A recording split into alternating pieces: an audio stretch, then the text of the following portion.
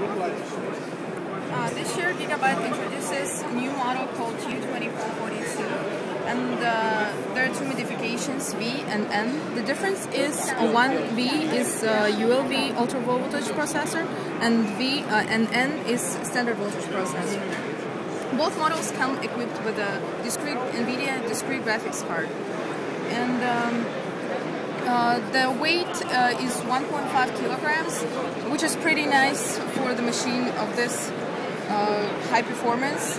Uh, in terms of I/O ports, you can see, uh, unlike other no net, ultrabooks, it comes with a full I/O ports.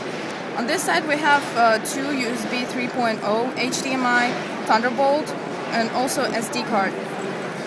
On this side, we have audio jacks, then uh, two um, USB 2.0 ports, VGA, and full-sized Ethernet port. Uh, in terms of design, uh, this is uh, Ultrabook has an aluminum cover. Uh, inside is plastic, but it's very of a high quality. Then uh, also unique feature is a backlight keyboard. For example, if you're typing in a dark room, it's a really nice feature. Um,